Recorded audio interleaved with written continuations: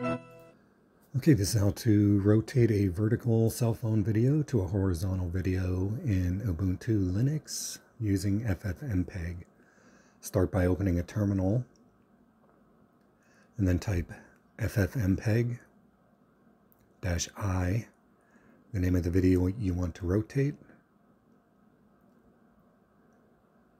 then dash vf,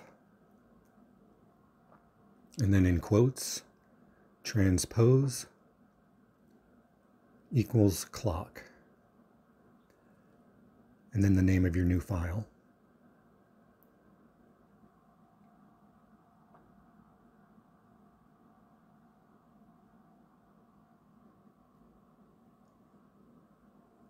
Okay, it's done. So let's check out our original file. You can see that's my vertical cell phone video. Now our new file. And that's all there is to it. Thanks for watching.